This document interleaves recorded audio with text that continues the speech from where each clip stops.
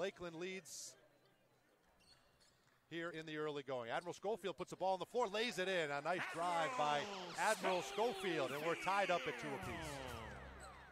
I know they played last night, uh, maybe a little bit tired, but so did Texas. Got to find a way to get it going. Three point shot from Justin Three Jackson. Justin Good Jackson. again. Three of four from distance already. Finds McLaughlin, defended by Stewart. Six on the shot clock. He's going to have to make a move here. He's got on you, charging to the basket. Shot up is good. The floater in the lane is good. Finds Loud Loudon Love.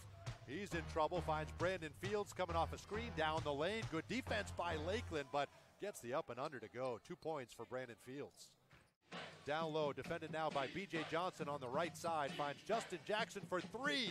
And that shot is good again. Justin Five Jackson. threes in this game here so six. far. We don't have a single stat. We're working on that, but I have him down for six triples. Admiral Schofield gets a nice up and under to go. It is 57 39 Texas. Jeremiah Tillman finds BJ Johnson. Nice look down low to Tillman, who hammers it down over the top of Udai Baba.